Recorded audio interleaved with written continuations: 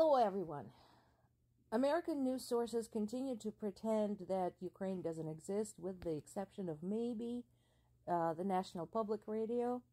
Uh, everyone else is uh, talking about Trump's antics and uh, how the uh, certain Republicans uh, continue losing their shit over Hunter Biden. So, uh, as the result, most of my news bites these days come from the British sources, uh, European and Ukrainian sources. Uh, the Guardian, Euronews, Reuters, Kiev Independent, Censor, etc. So, if at any point you want to go and look up the stories I'm reporting on, please feel free to go to those sources. They are still covering the war in Ukraine. To open today, Russia had unleashed another huge wave of attacks um, across Ukraine. Uh, it's been nationwide. Uh, those apps that uh, people in Ukraine are using that tell them uh, where the attacks are probably have been going off pretty much all night. I know my dad has it on his phone, and that, just to remind everybody, this is an app that tells you if the sirens are going on, whether this is a nationwide attack or a region specific attack. And that determines what people do for their safety. So in this particular case, um, it was a wide attack uh, and it employed, again, everything cruise missiles, ballistic missiles, uh, hypersonic drones, um, all of it. And as some of the sources pointed out, some of the problem with those is that these are the cheap, fast, low precision projectiles.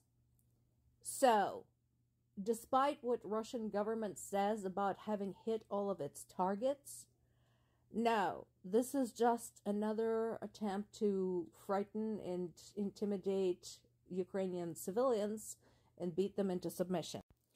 So this article from Kiev Independent, uh, this is available in English, as you can see. So you can go to Google Kiev Independent and you can read the full summary, pull up a map and see just the extent of all of the attacks. Uh, a lot of this was uh, close to uh, my home region of Zaporizhia.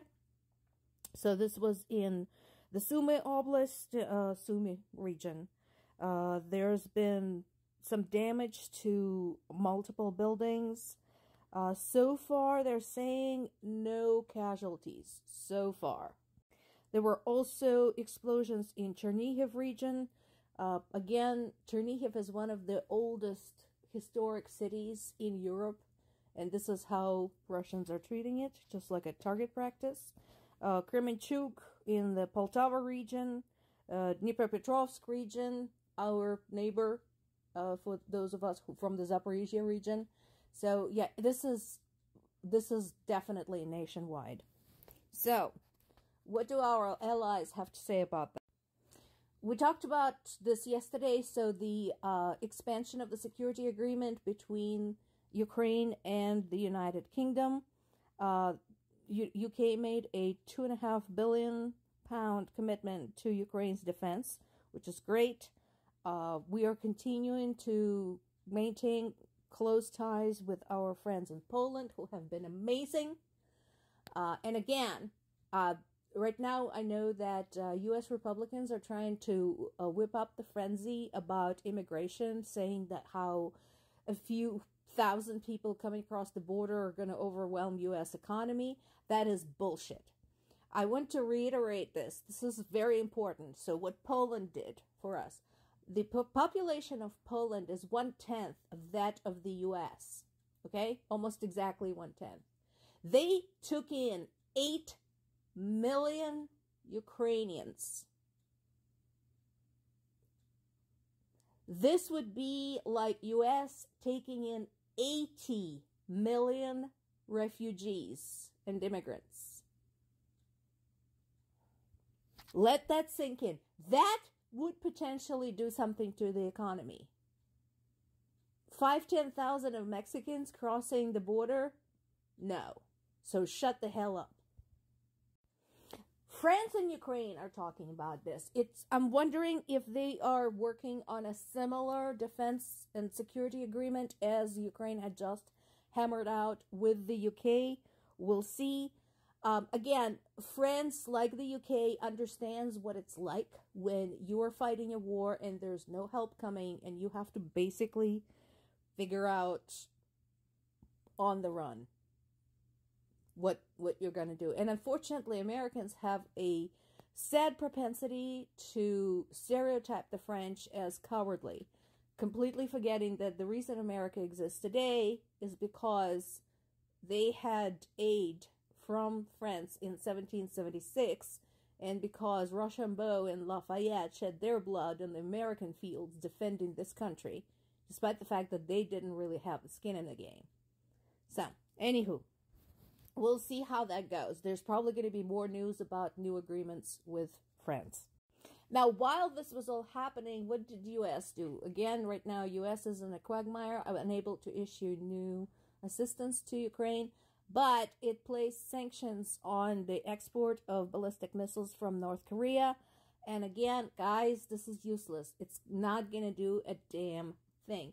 Right now, again, if you're looking at the active part taken by France, uh, Poland, the Baltic states, the UK, US is beginning to look really weak. Now, um, a little bit of a home front uh, note here. So this is back in Kiev's Independent. I wanted to highlight this bit right here.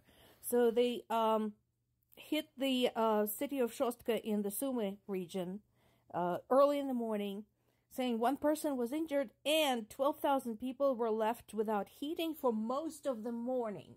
So this means that this struck at 7:30 a.m.